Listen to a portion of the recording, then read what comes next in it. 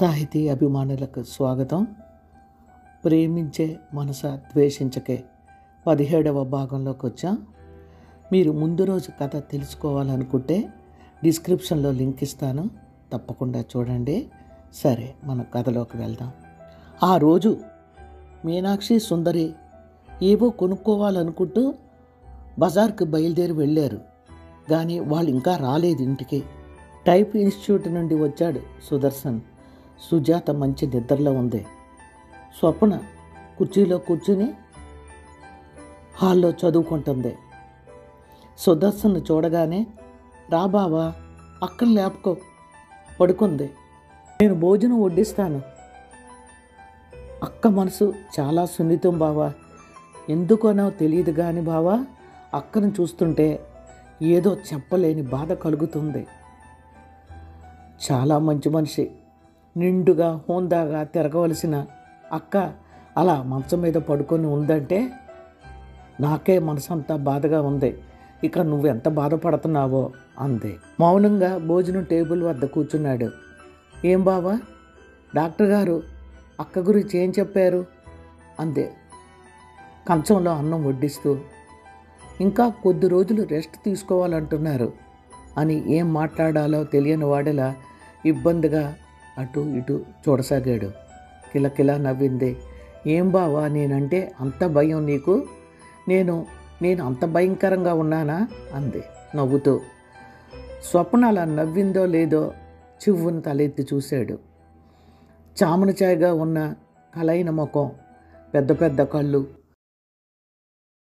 లక్క పిడతలాంటి నోరు తీరైన శరీరం. ఏంటి బావా?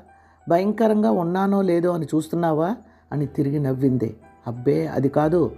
నువ్వు నువ్వు భోంచేసేవా? అన్నాడు. ఏదో ఒకటి మాట్లాడాలి అన్నట్లు కళ్ళు తిప్పి ఆశ్చర్యంగా చూసింది. అమ్మో ఎన్నాళ్ళకి స్వప్నం మీద అభిమానం జాలి కలిగే నీకు? అందే ఒక్క క్షణం స్వప్న ముఖంలోకి తలెత్తి చూశాడు సుదర్శన్. స్వప్న ఈరోజు కాదు నీ మీద జాలి అభిమానం. నీ జీవితంలో భగవంతుడు ఆడుకున్న రోజు నుండి నా మనసులో నీ మీద ఏదో తెలియని అభిమానం బాధ ఏర్పడిందనే చెప్పాలి. నిజం చెప్పాలంటే నా వలన నీకు చాలా అన్యాయం జరిగింది. నువ్వు నా గురించి ఏమనుకుంటున్నావో ఏమో కానీ నిన్ను చూస్తున్నప్పుడల్లా నా అన్యాయానికి బలి అయిపోయావేమో అని అనిపిస్తూ ఉంటుంది. ఇది నా బలహీనతో మరి ఏమిటో నాకు మాత్రం అర్థం కావడం లేదు అన్నాడు. సుదర్శన్. తనతో మాట్లాడడానికి బిడియపడే సుదర్శన్ మనసులో తన పట్ల జాలి అభిమానం ఉన్నాయని తెలిసేటప్పటికి స్వప్న మనసులో సంతోషం బయలుదేరింది. నేను ఎవరి సానుభూతి జాలి భరించలేకనే ఇక్కడికి వచ్చాను బావా. కానీ నీ నోటి వెంట ఆ మాటలు వింటుంటే నాకెందుకో తెలియదు సంతోషంగా ఉంది. నీ తత్వం నీ అభిమానం తెలిసే మా ఇంట్లో ఇక్కడకు వెళ్ళడానికి ఇష్టం లేకపోయినా ఆ పల్లెలో రేగిన గాయం నా హృదయాన్ని ఇంకా రేపడానికి చూసే బదులు ఆ ఊరు మనుషుల మధ్య ఉండలేక వాళ్ళ సానుభూతి భరించలేక నేను ఇక్కడికి వస్తానంటే మా వాళ్ళు ఒప్పుకున్నారు. నేను చెయ్యని నేరానికి నా మీద నింద వేస్తుంటే నేను ఎలా భరించగలనో నువ్వే చెప్పు బావా. నా నుదుట పసుపు కుంకుమ తక్కువ వ్రాయబట్టే ఆయన చనిపోయాడట. అవన్నీ గుర్తు చేసుకోవడం అనవసరం అనుకో. కానీ నువ్వు అంటున్న మాట నాకేం నచ్చలేదు బావా. నీ వల్ల నాకు అన్యాయం జరగడం ఏమిటి బావా? ఎవరికి? ఎక్కడ వ్రాసిపెట్టి ఉంటే అట్లా అవుతుంది. అంది. నువ్వు భోంచేయి స్వప్న అన్నాడు సుదర్శన్. నిద్రలో వాళ్ళ మాటలకు మేలుకు వచ్చి వింటున్న సుజాత మనసు అగ్నిశిఖ అయింది.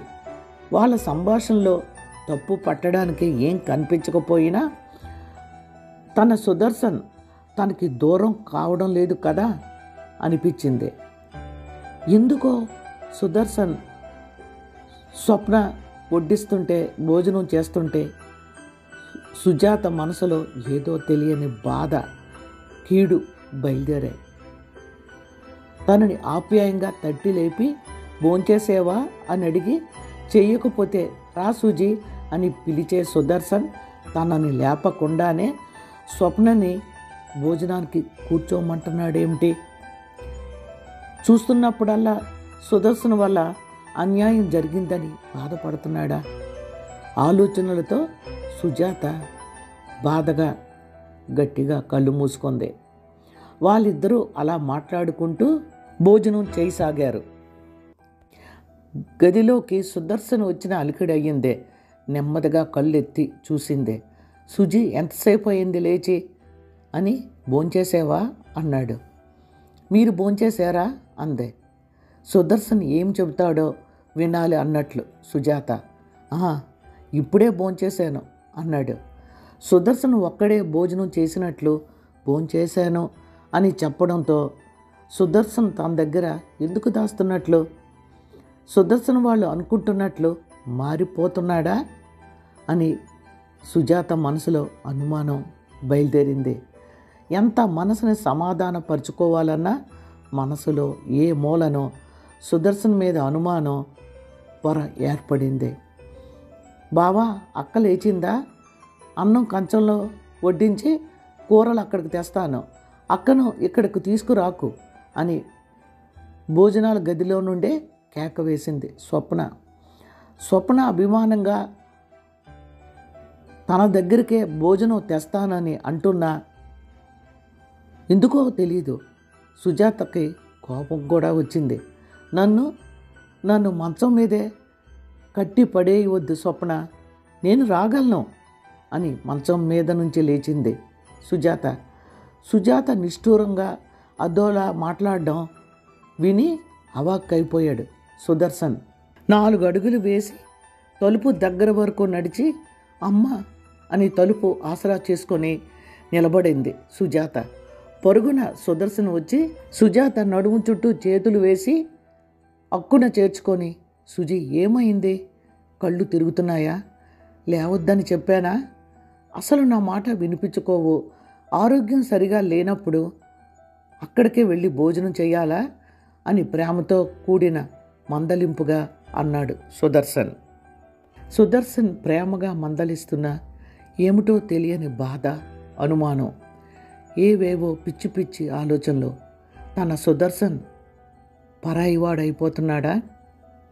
ఏమిటో పిచ్చి ఆలోచనలు సుజాత మనసుని బరువెక్కించాయి. సుజాతకి దుఃఖం ఎంత ఆపుకుందామన్నా ఆగలేదు. వెక్కి వెక్కి ఏడవసాగింది. సుదర్శన్ ఒక్క నిమిషం అయోమయంగా సుజాత వైపు చూశాడు. సుజాత ఏడుపుకి కారణం ఏమిటో తెలియక మరుక్షణలో సుజాత బాధకు కారణం ఏమిటో తెలుసుకోవాలన్నట్లు. సుజీ నువ్వు దేనికోసం బాధపడుతున్నావు? చెప్పు సూజీ అని ప్రేమనంతా స్వరంలో నింపుకొని అడుగుతున్న సుదర్శన్కి ఏం సమాధానం చెప్పాలో తెలియక సుదర్శన్ని గట్టిగా పెనవేసుకుపోయింది సుజాత. రోజులు గడుస్తున్నాయి. పోస్ట్ మ్యాన్ అందించిన కవర్ అందుకొని చించి చదివిన సుదర్శన్ సంతోషంతో పొంగిపోయిన సుదర్శన్ ఇన్స్టిట్యూట్ నుండి పెద్ద పెద్ద అడుగులు వేసుకుంటూ సుజాత దగ్గరికి వచ్చాడు మంచం మీద కూర్చొని పొడవైన కురులను దువ్వెనతో నెమ్మదిగా చిక్కులు తీయడం మొదలుపెట్టింది సుజాత. సుజీ నీకు గుడ్ న్యూస్ అని సుజాత దగ్గరగా వచ్చాడు. ఏమిటి? ఉద్యోగం కానీ వచ్చిందా? అంది ఆతృతగా సుజాత. అమ్మో తెలివైన దానివే నీకెలా తెలిసింది? అన్నాడు. కళ్ళు ఆశ్చర్యంగా పెట్టి సుదర్శన్. ఏముంది గుడ్ న్యూస్ అంటే అదే కదండి? అంది తేలిగ్గా నవ్వుతూ. అప్పటికే సుజాత మనసు రకరకాల ఆలోచనలతో ఏవేవో ఊహించుకోవడం మొదలుపెట్టింది. నాలుగు అంతస్తులు ఏసీ బంగ్లా తన తండ్రికున్న ఆ నిమిషంలో సుజాతకు అవేవీ గుర్తు రాలేదు కానీ ముచ్చటైన చిన్న ఇల్లు ఆ ఇంట్లో తను సుదర్శన్. తన్ను అక్కడ సూటి పోటీ మాటలు అనేవాళ్ళు కానీ తనని తక్కువగా చూసేవాళ్ళు కానీ ఎవరూ ఉండరు. భర్త అనురాగంతో తను మునిగి తేలుతూ ఇద్దరు పిల్లలకు తల్లై సుఖ సంతోషాలకు లోటు లేకుండా బ్రతుకుతుంది. తను కలలు కన్న జీవితం దగ్గరవుతుందన్నమాట. అంతకన్నా తనకి ఇంకేం కోరుకోదు కూడా. ఆ ఊహ నిజమైనట్లు సుజాత ముఖంలో సంతోష రేఖలు చోటు చేసుకున్నాయి. సుజాత మొక్కలో సంతోషం చూసి నీకు నేను ఇచ్చిన మాట నిలబెట్టుకునే రోజులు దగ్గర పడ్డాయి. ఆనందంగా అన్నాడు సుదర్శన్. అతని కళ్ళల్లో ఎంత కాంతి మెరిసిపోతుంది. ఓరి నాయనోయ్ ఓరి దేవుడోయ్ బాబు సుదర్శన్ మీ నాన్నకి మళ్ళీ నొప్పి వచ్చినట్టుందర గుండు పట్టుకొని బాధపడిపోతున్నారు అని కొల్లున రంగారావు గారు గది నుండి మీనాక్షి అరుపులు వినిపించి సుదర్శన్ హడావుడిగా తండ్రి గదిలోకి వెళ్ళాడు. రంగారావు నొప్పితో మెలికలు తిరిగిపోతున్నాడు.